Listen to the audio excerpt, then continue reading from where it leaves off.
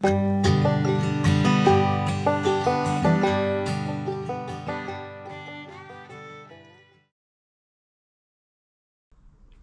a big day because me and my buddy Andy are going to put the engine in the frame. We're going to prepare it. I have cleared all the tools out the way, but only the ones I need because there's nothing worse than struggling for the tool when you're halfway with the engine in the frame, part in the frame, hanging out, blah blah. It can get a little bit dangerous there, so we have to have everything to hand in order to get those mounts in when we need to do it. Um, the process is um, quite straightforward, but it can be tricky. We've got the jack in the middle. I went through that on one of the last videos, how I, how I put the jack in the middle. We're going to see if we can lift the engine through the frame from the right hand side of the bike and then place it on the wood, which is on top of the jack, and then slowly manipulate the engine around until we get those engine mounts lined up. Now I'm going to be going all over the place trying to work around the bike so please excuse me for not seeing me on the camera. You might see my body but you probably won't see me talking to the camera because I'll be concentrating what I'm doing. We don't want any crush fingers. We don't want to damage the frame.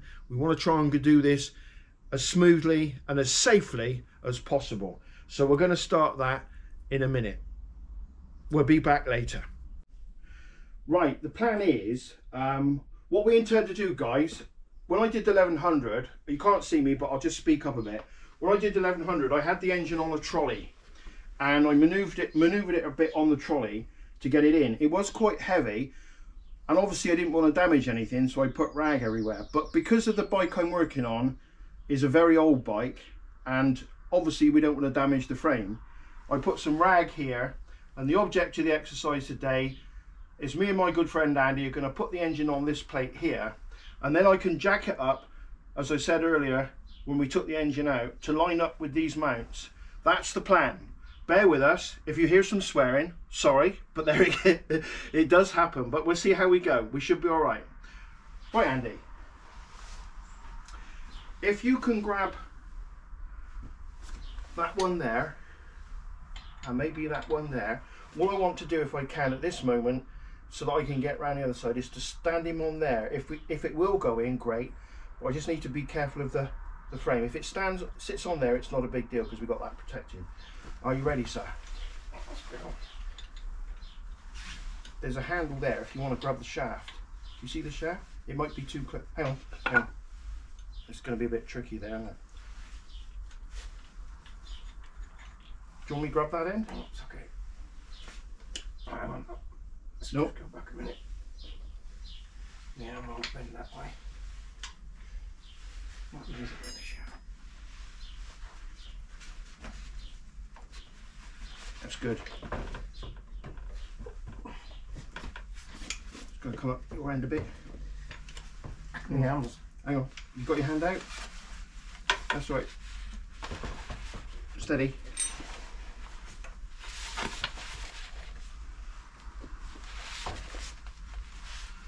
Um, there's an engine mount. It's just that's it. Just past the engine mount.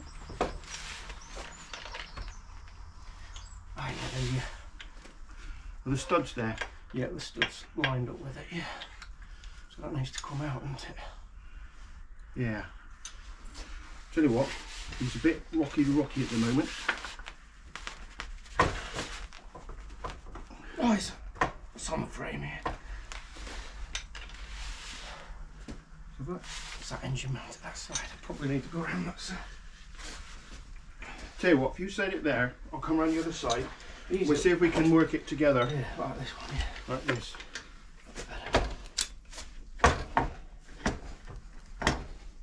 Oh, hang on.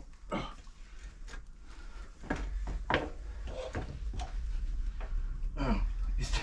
this one's caught on here. Okay, can you can you go down a little bit? Is that is it resting on the jack? Yeah. Okay, I've got the shaft. We can lift up a bit. That's the way. That's it. As long as he's on the jack. On the jet there, I think. Okay, and I'm going to let the jack down a little bit so that I can get that one in there to line it up. To do this very carefully. And just see where I am. That's right, that's okay. Those mounts line up. That could come out because they'll get in the way now. That's great. Right then. This is always a bit tricky because I've got to control it. Or it just drop?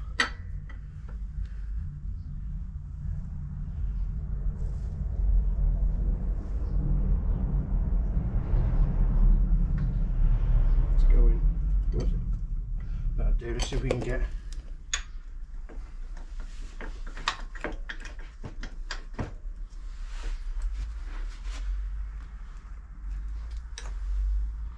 I think we might need to go a bit down a bit more actually, because he's not level at the back.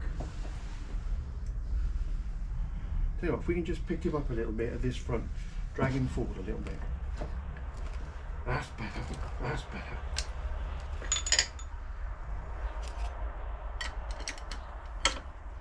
Oh, wrong one.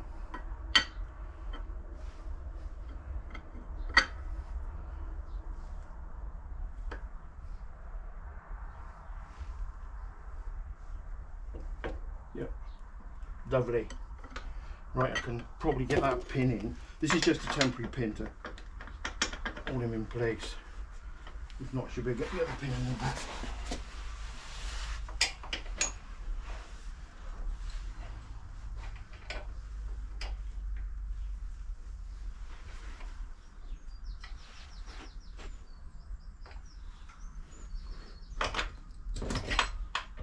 That come through on the other side.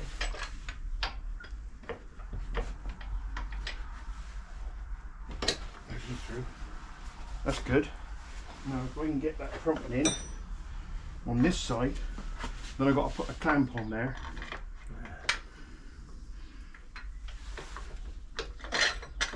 That's it. That's it, got to put the clamp on. Then we've got two stays in, which will hold it. So there we go folks. Bit of jiggery pokery.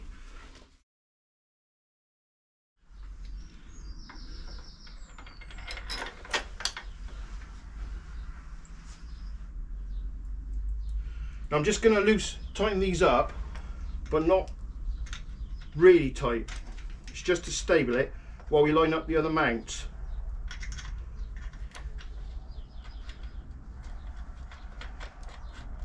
In fact, I've got the wrong bolt and the wrong hole, but it doesn't matter.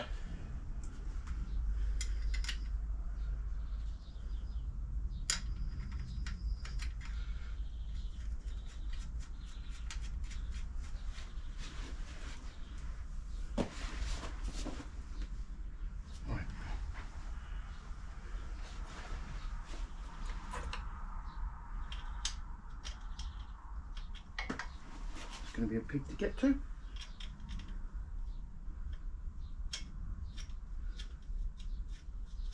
Right, that's good. I've got a, a bite on the thread. So those those shafts, those engine mount shafts, they can't come out now.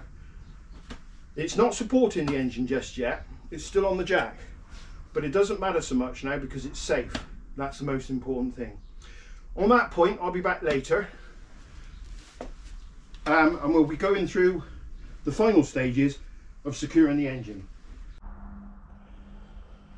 Right chaps, um, I'm back. Much thanks to Andy to help me lift it in. Just tightening up the mounts. One here, it's a teardrop mount which goes up inside and the same on the other side. We've got this one here, one down here, and obviously the one at the very front at the top. Just going to tighten up, finish tightening. I didn't film any of that because quite frankly it's a bit tedious and boring. But we're just finishing off by tightening this one, which is a 17 mil giant bolt that goes through the frame.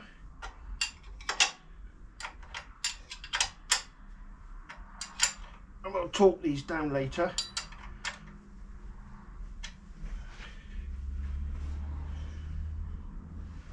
So now I think I can probably let the jack out the way actually.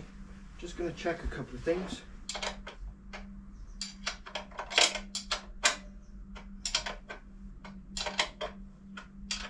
Need to tighten this one.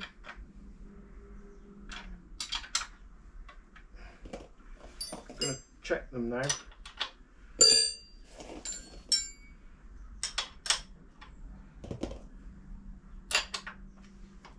That one's tight.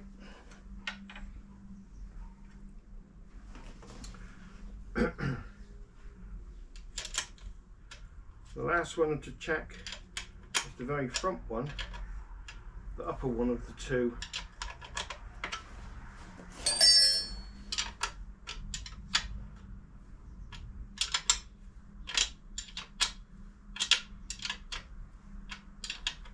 This is all coming together very well now.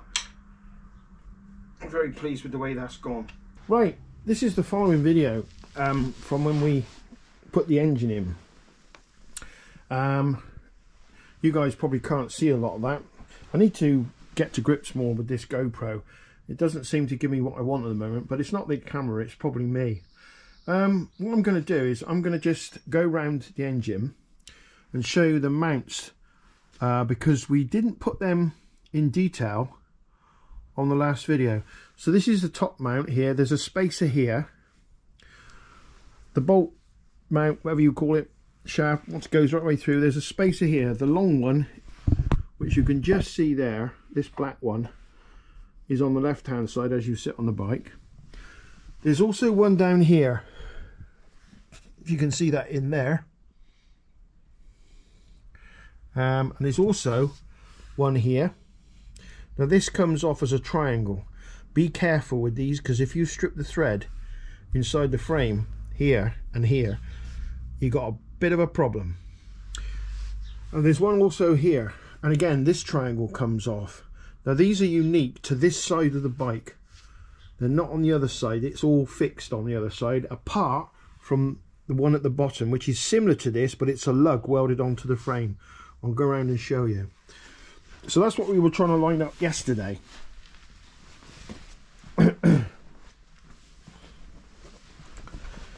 On this side, the left hand side, there's that long spacer I was telling you about. And there's the bottom mount, which comes out roughly the same place on the other side. That is the shaft that goes through there. This is the lug, and this is the bolt that goes through. And on the underneath, you've got the butterfly, look like a pear drop. I don't know if you can see that. I'm going to see if I can turn you upside down so you can see it, maybe. Don't know whether it will come out. Maybe not.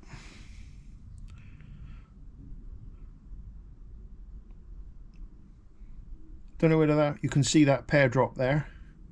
But that's on the underside of the bike.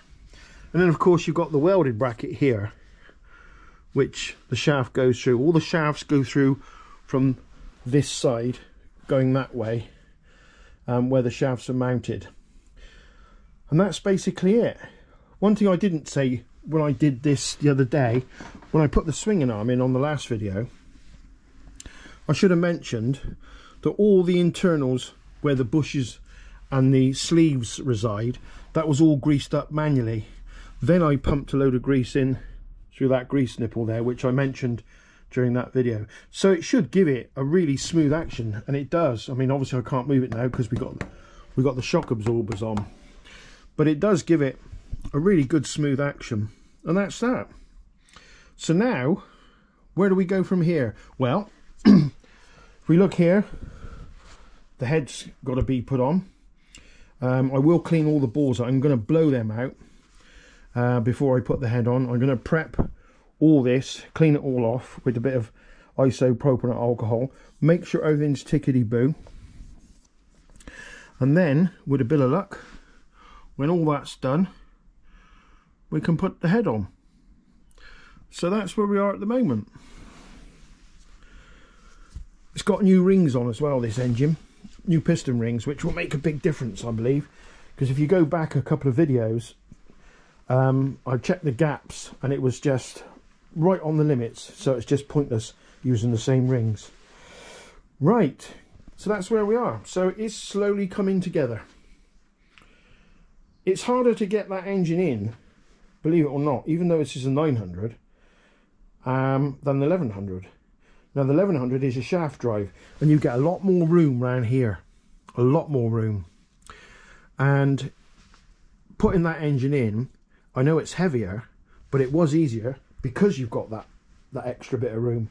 Here, as you saw on the previous video, when Andy and I put this engine in, we I wouldn't say we struggled, but you had to got it you have to get it in exactly the right position to get it to line up with the mounts. And then when you've got it lined up and it's on the jack, then you can put those bolts, nuts, brackets uh, into place so that it holds it on a temporary basis. That jack now is not doing anything really, it can come away.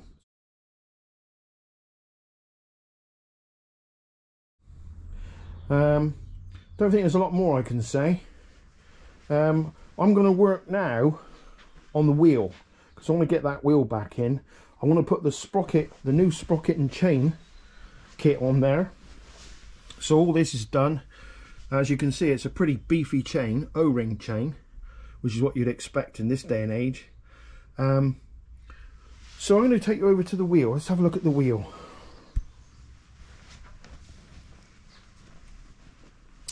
Now the last video I'd done, there's something I want to mention here. The last video I'd done, I wasn't very happy because I noticed when I played it back after it had been published, let me turn you around a little bit. After it had been published, I noticed that it was um, a bit blotchy.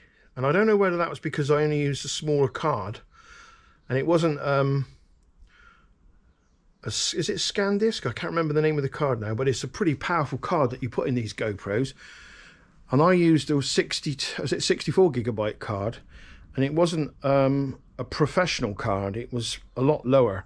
And I think that's what may have been the problem. So this card sorry this this camera now the GoPro is now filming with a 128 professional card in minute micro SD card. I'm hoping it's going to come out better but time will tell when I play it all back. It is annoying because of course when you're actually shooting, you don't know that it's doing that. You can only find out when you play the vid- the footage back, and then you see for yourself that it's not quite right, or it's not as good as it could be. But we'll see how we go. Um, I'm going to take you off this this stick, this holder. I think vloggers use this, but it still comes in handy. Um, I'm going to take you off the stick, and then I'm going to put you on the tripod, and we're going to bring the wheel up on the bench, and we're going to go through the wheel and the bearings. Be right back. Right, folks, welcome back. Um, this is the rear wheel off the Z1. Um, not too sure about the bearings. I went through it on the last video. And I think I mentioned some of these spokes. Listen to this. They are not tight.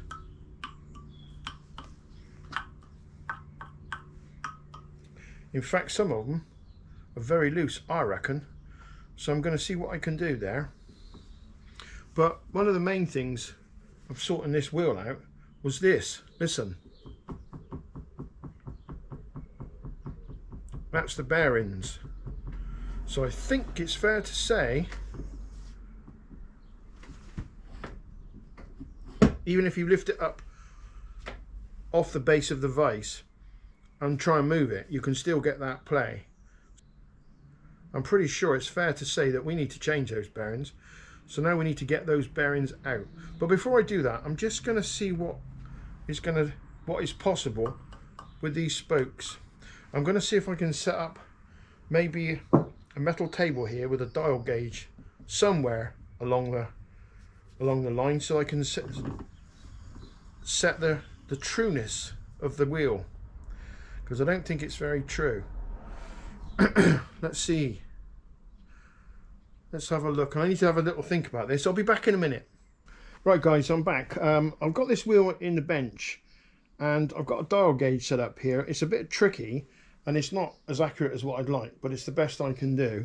And some of these spokes I noticed were bent, but I don't know whether that's to do with the fact that they're loose or they were somebody before I had the bike has pulled away really harshly and shall we say gone a bit mad with the torque or the power going to the back wheel. I've not seen this before so it's a bit new to me but they're bending in the opposite way that you'd expect if that was the case so I'm not sure. But I've gone around with a screwdriver. I've tightened a few up. Where is my screwdriver? Yeah. I've tightened a few of these up with my little adjustable here and I'm tapping them.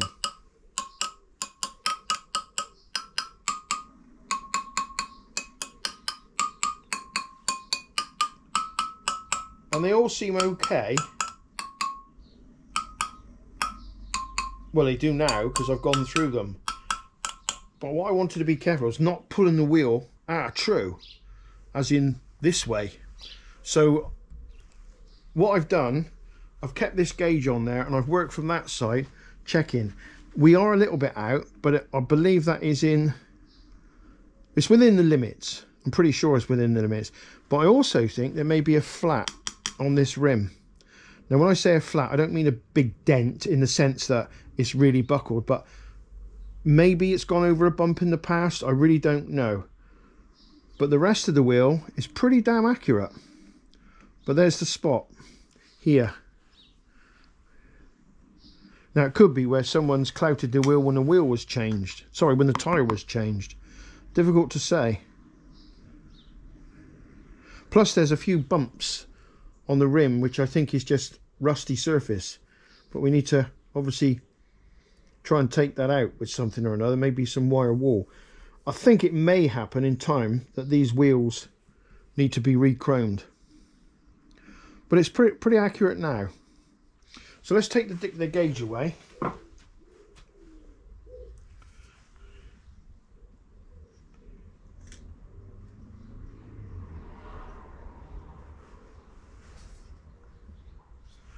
Let's spin the wheel and see if we can see anything by eye.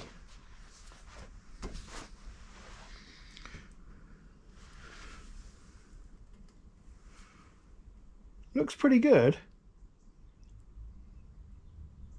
Looking through the spokes, I can see it's a little, there is a spot where it does quiver a bit, but the wheel's not too bad.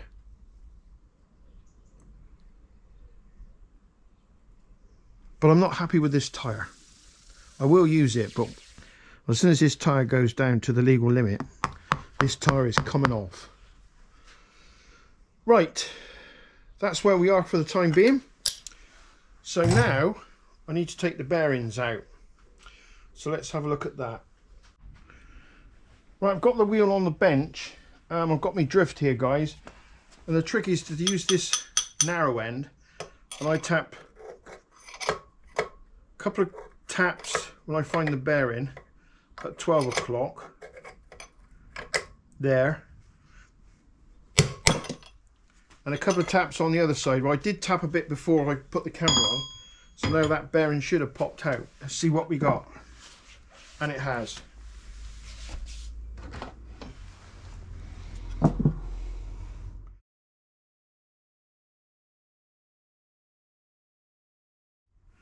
And there's the bearing.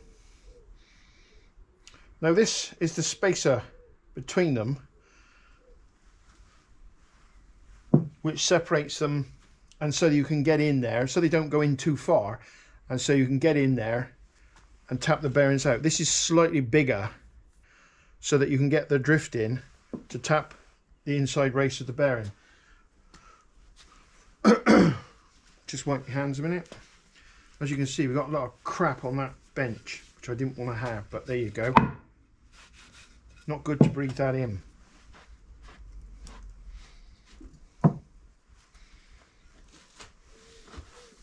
So now I can tap the other one out.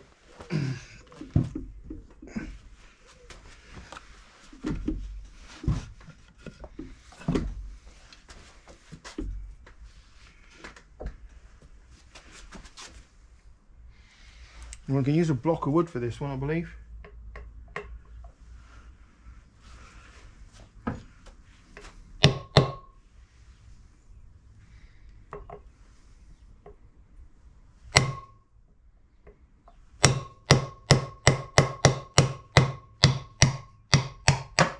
Goes. Careful not to hit that.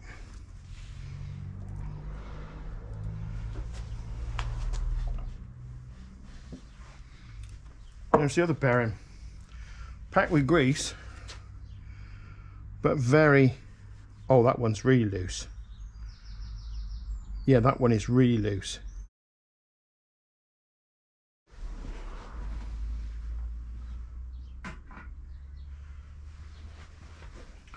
That's the real one. I think it's the real way to test them to see how much play is in the race when they're dry. Don't spin them when they're dry, they used to say. Natural fact, it's probably not a good idea to do that anyway. But you see it on YouTube where guys are spinning them dry with an airline and letting them go racing across the floor. I don't recommend it. Right, so that needs to be cleaned up.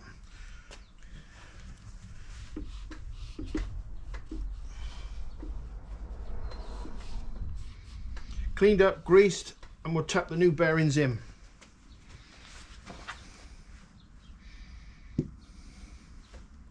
So that's the old ones. So we're looking for a new set. I hope they're shielded.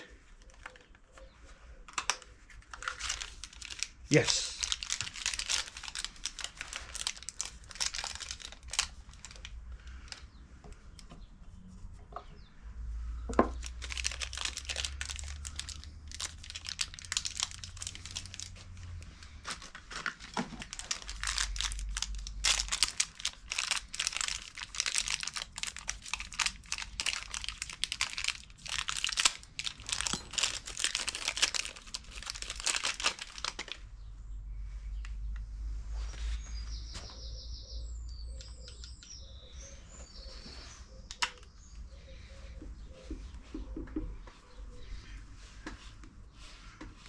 Now on the brake drum side, you can't tap them in too far because there's a lip. But we mustn't forget this spacer. Where's it gone? This spacer.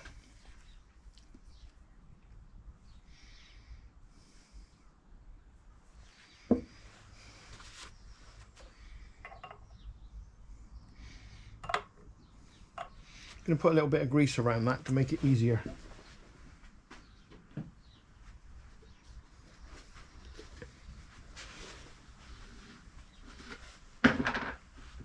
Just a smidge.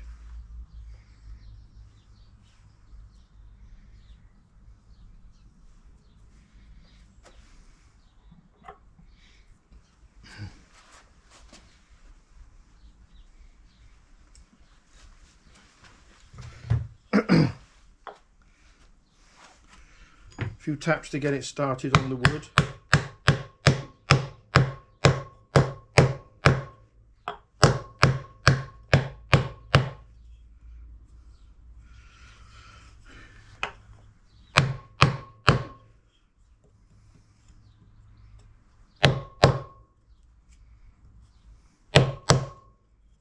Just to make sure he's home and seated well. And he is. That's that one in. So now we'll turn over, put some more muck on the bench.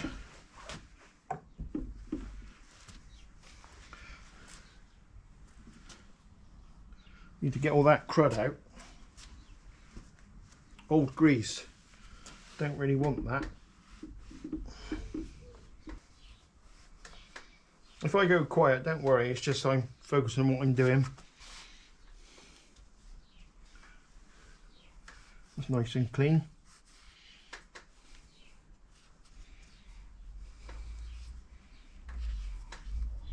Right, before I put this bearing in, I need to check to see which way this came out. So I'm going to look at the manual on that one. I want to have this right.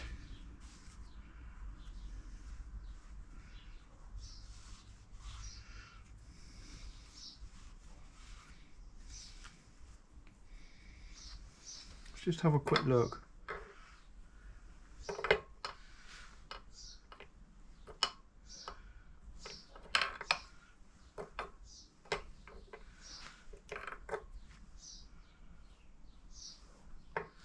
I don't think it makes much difference, but we will check it.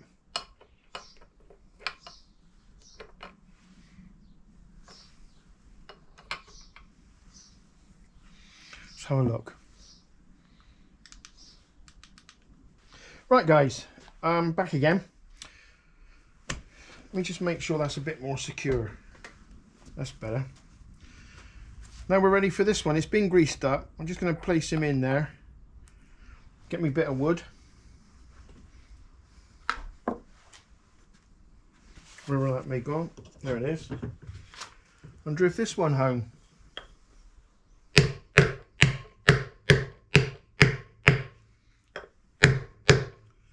Go. I don't want to tap the inner race if I can possibly help it.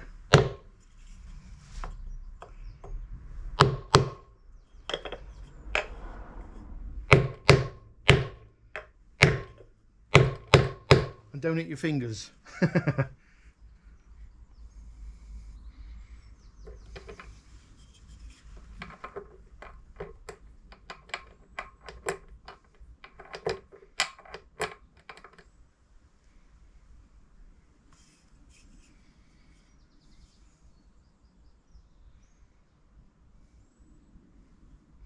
That one needs to go down a lot further.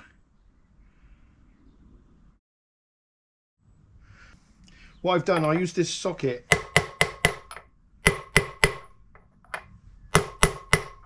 to tap it on the outer race once I got past this point here, this surface.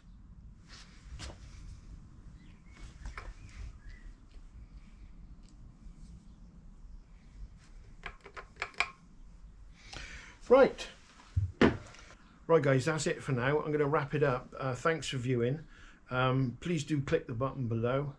Do hit the subscribe button if you haven't done so already. It's really nice to get those subscriptions because obviously it helps the channel. It's free, you don't pay for it.